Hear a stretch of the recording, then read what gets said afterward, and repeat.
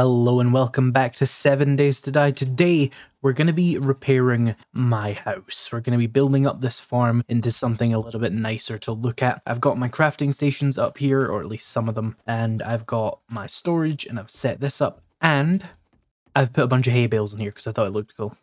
Just I thought I'd add that. I know I took a bunch of hay bales out, but then I added a bunch more in. It's just how it is, okay? And I've repaired the windows in here. Uh, let me put this workbench here because I want to. Right, so what I want to do, also I put some hay bales in this field because I don't have enough crops to actually fill this field. And I didn't want to do trees because it was causing a lot of lag. So just hay bales implying that things are grown here was fine by me. Now the nice thing about this POI as a base is that it's not going to require much modeling. I don't have to move many blocks around. This looks fine. I just need to paint it to look a little bit better, and I've got a bunch of paint crafting as we speak. It's mostly going to be a case of interior decoration. Hey, I missed a window. There we go. Which has just reminded me I do have my basement here, which has mushrooms in it, which I was supposed to be growing. Let's collect these. Got clay on me? Yeah, I do. Cool. Turn them all into seeds. I don't really want mushrooms, I just like the idea of growing them. You can have 49 growing in here. I'll come back in a minute once I've got more spores. I want to make the fence around this taller as well. And one thing I would kind of like to get done is set up machine guns to defend the place. But I don't know if it's going to look any good, and I don't know if I have enough machine guns or power to power all of those guns to defend the place, or the ammo to fill them, but it's something I'm going to consider. Let me see what blocks I have in that regard, actually. So I've got six SMG auto turrets, which is what I would want to use and I have a bunch of switches, bunch of relays. Do I have a generator though? That's kind of weird if I don't. Let's see, generator. Yeah. What level of electronics do I have? 43. That means there's a lot of things I can't make, but I shouldn't really need many of these. That's fine. And then traps I have maxed out, so I'm good in that regard. I would like a generator bank. Let's see if I can make one of those. Yes, I can. I'll probably need to use the workbench to craft that, I think. Craft you. Then I'm going to need a shitload of engines. Let's see how many I actually have already. I have four. That's not bad, actually. We can get two more quite easily. Fill out a full generator bank. The one downside of using generator banks here, though, is this is a snow world, and obviously gas is just something I can only really buy from the trader. But I can comfortably say I would always have enough gas. The traders are always going to have enough gas to do that. I did want to be self-sufficient, but solar panels just aren't very effective at powering a lot of things. So if I'm going to do power, I will use a generator bank and just buy loads of gas from traders. This is my pet rabbit, by the way. It seems to respawn here every so often and then disappear. So I just I just think it's my pet now. I assume it's part of the POI, like it's a, a, a sleeper rabbit. We get a bunch of nails. I'll need those later. Oh, do I have a wiring tool? That would be important to check. Yes. Here we go. I think just here would make the most sense for a generator, right? Or would you need a generator outside to avoid carbon monoxide poisoning? I know in Project Zomboid you do need to have one outside or you'll have issues like that. Maybe we put it next to this gas tank? Look, there it is, it respawns. Um, you could build like a little area for it, I guess. Uh, let's see, if we want to have it here. Uh, in fact, I don't want to disrupt the bunny's spawn position, so let's do it over here. Uh, we'll want to take out this. Don't have a shovel on me, this'll do. And then if I do like a double door, do an iron double door. Uh, but let's do wood. There's a wandering horde coming in, hang on.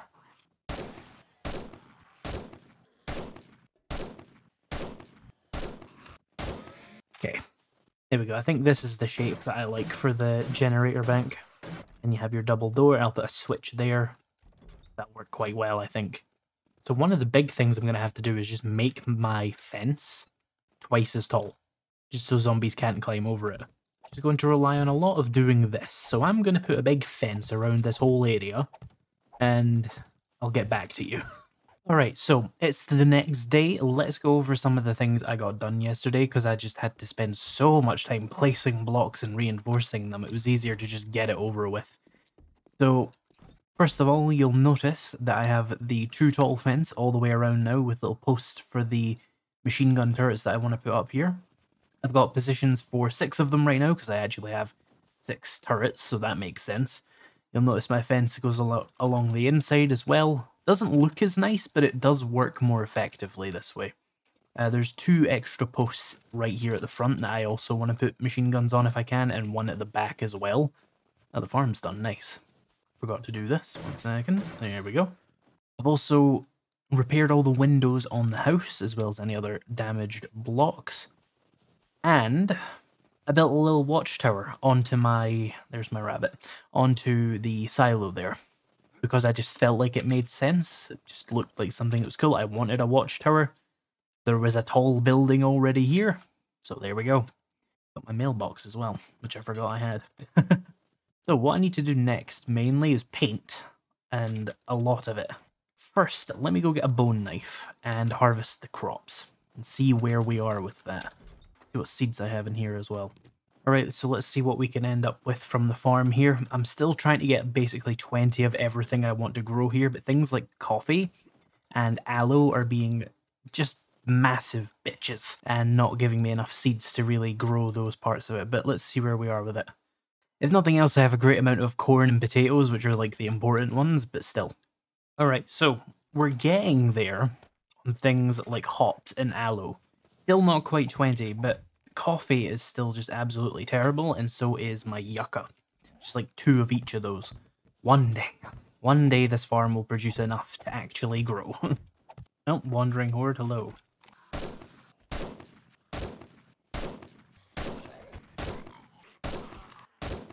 Right, back to planting my crops. There we go. Right, so let's get to painting. First things first, this barn looks burned and it's kind of ugly, so what do I want it to look like instead? Logically, I would assume something red, right? Like, what what is the barn that is red actually coloured as? Probably some kind of wood, right? Doesn't seem to be marked as red, though. Wood. Yeah, redwood. Okay. I painted this whole surface red. I mean, that looks cleaner, that's for sure. Let's do that. And then I believe with these kind of things, you usually want to go for like a white. Don't know what I would make it out of. Metal white? Let me see what else we got. Wood? No, there's no white wood. Let me scroll through and see. Yeah, I guess we'll go for metal white. So paint all sides. Do like that. Window frames. Here we go. Put some white on this. Now then, for the barn door. Probably want to stick with some kind of metal or wood. Let's see. Western wood? How does that look? Uh, could work. I'm looking at pictures of barns and they usually just have the exact same wood on the doors. Like that, but that's weird. Let's go for something metal then, yeah. yeah let's maybe go corrugated. Oh, that paints the whole thing. One second. Oh, I'm out of paint. this is what I get. Because I painted on both sides, didn't it? Yeah. Oh, that wasted so much paint. It's fine. It's fine. There's more. Here we go. Let's turn off paint all sides. Then try that again. Right. You want just like a paint roller and corrugated metal. I guess that'll do. Okay, let's take that white metal paint again, take paint surface and paint all sides, do sort of a this kind of thing. Hmm. Yeah, I, I want to frame it with white, but I don't want the entire roof to be white. I'll have to use some temporary frames to get high enough up to actually do this in some places. Go. I'm going to need to get onto the roof anyway to paint it, so let's just get up there. Right, so I've framed off the roof, now we just need to find the right material. When in doubt, shingles always look kind of good, so let's try that. There we go. Uh, try and fill that one gap in. There we go. As much sense as that doesn't really make, let's just ignore it. Same thing happened over here. Do that.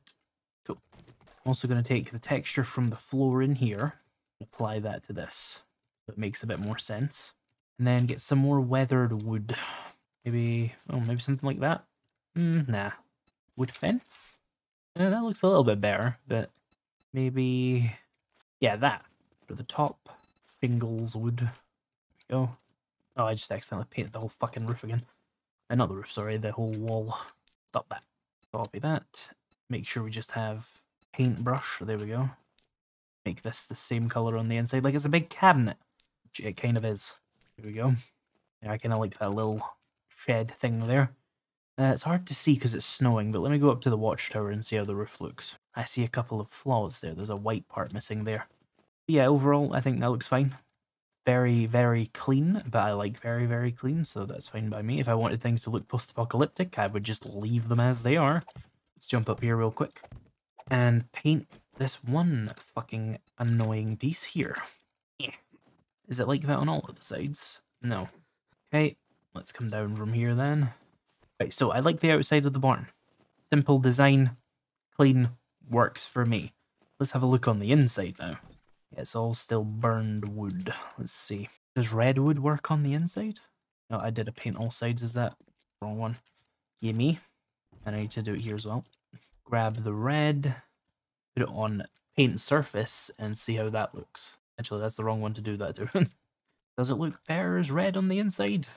I mean, I do like red, so I'm not going to complain too much, but does it make sense? Because this is the same paint that was on the outside, I'm pretty sure. That's weird. Didn't mean to do that. Paint that. You know, I kind of like the red. need better lighting in here, though. Oh, that's a problem for later when I've got a bit more stuff to work with.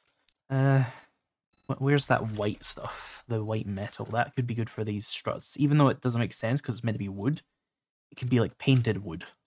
There isn't really a white painted wood. There is, but it's not as clean as this. Also, let me pay that and just... oh, I painted the whole floor. That's annoying. that doesn't look right at all. There we go.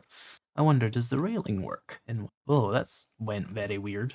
Uh, I think it does, though. I'll just have to take very great care in actually painting this horrible, horrible system. There we go. I like the whiteness.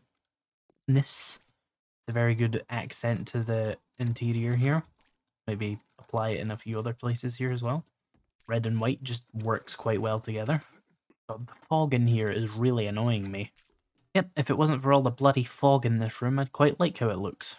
Head up here, bring some more of that red, and bring some more of the white, actually. Looks like we need to replace this window up here. Do that. Oh, this one's actually still there, but I'll just take it out because I have metal on me. Replace it with a wooden one we go, paint it white. There. So I'm going to take out this ceiling thing, because it's mostly just completely broken blocks as it is. Just realized I don't really need to break it with my axe. I just need to stand on the ones that are like broken, which I think I got all of them now, so let's actually break these with the axe. There we go, and what remains is to fill in any gaps like this that I've obviously broken at some point. There we go. There, I think I'm happy with the paint in here at least. Oh, wait, wait, wait, wait, wait, wait. Missed this window. There. And the paint in here is also fine. So what would remain is painting potentially the outside fence if I want to, which I think would just be a massive waste of paint if I did that. Uh, but another thing would definitely be painting the house and its interior as well. It's going to require more paint, so let's go see how much water I have. Certainly got some, and I've got plenty of chrysanthemum as well, don't worry about that. So, let me burn... Oh, you can't burn a door? That's boring. I had a spare door, I want to burn it. Um, put 10 minutes of fuel in there. We got a little bit of extra paint there. Is there any more water around, though? No, okay. Let's just queue up an extra 22 thingies of paint there, which is another 11,000. That'll certainly help, but we'll need to wait for that to be done first. So, wait, actually, where are my SMG turrets? And all that kind of thing. I bet I put them in the dump chest down here. Yes. I've got more water, actually. Let's queue that up as well, then. There's another 7,000. Right, yeah, so SMG turret, wiring tool, relays. Those are the main things. Let's set these up. I don't have all the power for them yet, but I can put them in place. Certainly don't have enough ammo for them either, but I'll deal with that later. Have them diagonally facing out like that. Except for this one can just go straight like that. And once these are all wired up, they should deal with any wandering zombies, but more importantly, they should deal with screamers that might come in when I'm using my forges and stuff. But there haven't been many screamers anyway, so not too worried about that. I just like having them. One here, and the last one. So now we just need to put a bunch of wire relays in places that don't look too bad, which I think mostly on the sides of buildings should cover everything we need to do. There we go. So there's relays pretty much everywhere, which I'll just be able to use to get power to anywhere I need it to be in the base. So let me wire all this up. That is going to take a while. I won't make you sit through all of that. There we go. The base is now fully wired up. The wire relays are ugly, but hey, what are you gonna do? They're just how they have to be without me making like an underground power grid system, which I'm just not going to do. It takes about 119 watts of power right now. After I put in a couple more turrets and lights, that'll probably go up a little bit more and we'll have to put some more engines in, but that's fine. Now we have to paint the watchtower and the silo and my house and the water purifier area. So let's go see how the paint's doing. Here's a bunch of paint. This will need more fuel. Give it another 10 minutes. Let's go see what I want to do to the house. First of all, and arguably most importantly, what color do I want it to be? Um, let's see, I like the color red, but red's already taken by the barn. Green would be a good color to put next to the barn because obviously green and red contrast with each other. What other colors would work? Blue, maybe? Let's have a look. Oh, ugh, that twisted my brain as it switched colors. Um, I don't dislike it. I feel like I'm being different for the sake of being different, though. Let's have a look. Maybe I need something that stands out a little bit more from the bloody background of this world, which is obviously a very bluish hue as it is. What about white siding? No, what are you fucking thinking? You just said it's too snowy, and now you're like, what if I made it white? God, I'm fucking stupid. Um, orange? No, I don't like that. hate the color orange, but it might work quite well. Oh, that's not what I wanted. Yeah, that does stand out quite well. It's it's visibly distinct from the barn, and it stands out from the horrible, horrible white background we have going on. So I guess we'll have an orange house, even though I hate the color orange. But hey, it's always good to step outside your comfort zone. It's not going to make me like orange, though. right. I want something a little bit nicer down the bottom here. I want, like, bricks. That's a bit weird. Now, these work. Hmm. What about... Oh, Adobe Trim White? Hmm, that kind of works. Goes well with the orange. Oh, what the fuck? And we'll fix that with individual blocks in a bit. Hey, piss off. Yeah, okay, aside from the fact that it keeps adding it to the railings, this does look quite nice. I will fix the railings manually. Yeah, right, that works. Let's find a wood colour that I like to go with this. Yellow, does that look good? No, no it does not. It should, I mean, yellow works with orange.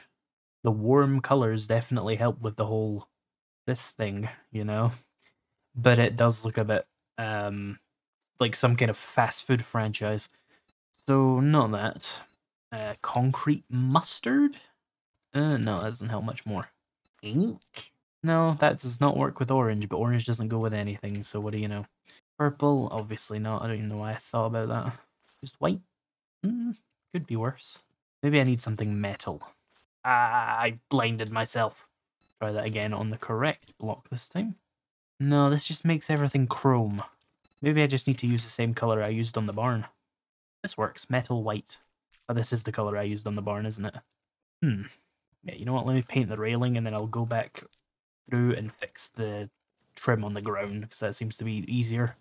The railing is very pissy. Right, so I'm going to paint this house throughout the night and in the morning we'll see what I've done to it. Alright, so next day, house is slightly fucked up because I was painting it from the inside and some of these exterior areas look a bit weird.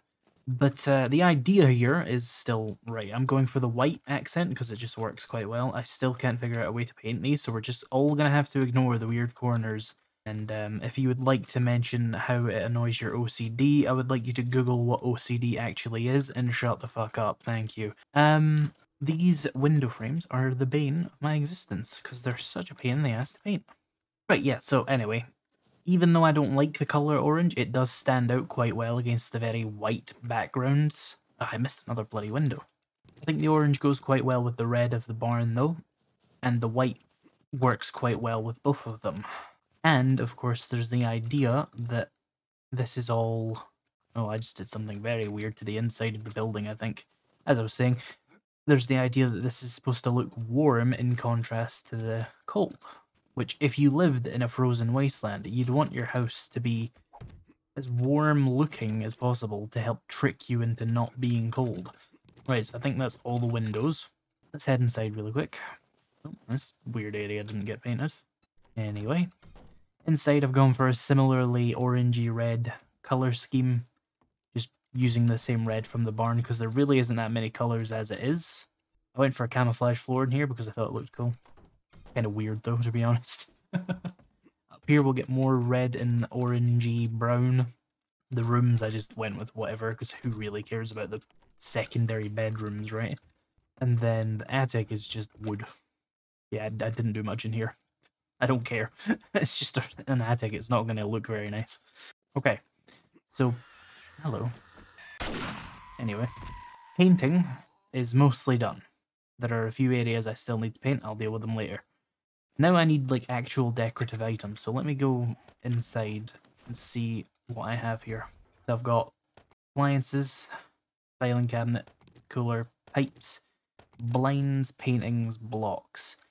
And I have some nails crafted here, which should allow me to make furniture blocks of various kinds. So let's make like 10 wooden furnitures, 10 cabinets and cupboards, and go from there. So paintings, first of all. Let's head inside the house, because I'm not going to put paintings in a barn, that's just weird. Uh, oh, we've already got paintings in here. Let's place this there. Just notice that has not painted behind the cat. There we go. I'm just going to place a bunch of paintings throughout this house because paintings look good and there isn't that much to decorate with as it is. Okay, paintings used. They are everywhere at this point. Let's see what we can do with this wooden furniture. Oh, barrels, yes. And produce baskets. Those are probably best used outside. Uh, let's make sure everybody has a nightstand. Yep, that's got one. Yep, I think they all have them, but just be extra sure. Yeah, don't need nightstands. Uh, let's get some barrels put somewhere. First of all, there, because I want them. In here, place some of those, that. And let's not forget the basement, prime barrel territory. Let's also get a dog kennel. Is it like there? Big wheel. Why not? And of course, pallets. You can never go wrong with pallets. Then we got these. Let's head over to the kitchen area. That. Go appliances, you probably need a clock somewhere. Let's get stove, refrigerator, coffee thingy, toaster, more clocks. Yeah, I'm out of appliances now, I think. Here we go. I've also installed a bunch of blinds now as well. You can still see outside, but it'd be much harder to see inside. It is still a post-apocalyptic home, of course. That honestly might be all the house needs. Like, it's got seats, got furniture in the kitchen. I just need some lights. What do you need to make lanterns? Because they're the best light source. Oh, that's a lot of forged iron and duct tape. Hmm. What about just... Ah, you know I'll just make these, it's fine. Or in fact, I'll have to wait until I've got more water to make the glue, to make the duct tape, to make the lanterns, yeah. Right, I've got a little bit of extra glue there, plus the glue I had in one of these. Let's turn that into duct tape and use it for my lanterns. I need more cloth. That's all the duct tape I'll be able to make, I guess. Yeah, I'm out of electrical parts anyway, that's fine. I'll gather up some more of those in the next few days. Right, let me load up my SMG turrets now. There we go. Now all my turrets are active, so they should pick off zombies as they come past. Let me put the extra ammo away. Okay, well, we definitely need more lanterns, but it's working quite well. Let me go get my paintbrush and some more paint. So we need to paint my watchtower here, and I want something like logs. There we go, that looks perfectly fine to me. Just gives it a bit more texture than the flat one. Okay, so I've painted the water thingy here with some apparently lacking paint in a few positions, but with some reinforced wood paint texture just to give it a bit of a better look than the flat default wood. While the weather's actually clear here, you can see we've done a massive transformation for how this looks. There's still a few things that need to be done, like, oh my god, more white windows over here? Oh, okay, I'm gonna do that now. But yeah, you can see where it's, it's coming along. Most of the internal decoration is done as well, it's just need to do the paint. There we go. So yeah, I'd say this place is like 90% done. We'll finish this off in another episode. In the next episode, which will be the final episode, we'll finish this off. We'll do some tier 6 infestations, we'll do the day 42 horde, and then we'll end the series. Let me know if you're still enjoying this series. If you need a 7 days to die server, you can get one for 10% off on the link in the description. I earn a commission if you use that link, just so you know. Anyway, in the meantime, special thank you to my members and patrons. If you want to become one of those, there are links in the description to do so. If you enjoyed this video, why not check out another one? I would recommend the one on the top right. Thank you so much for watching, and I'll see you in the next video.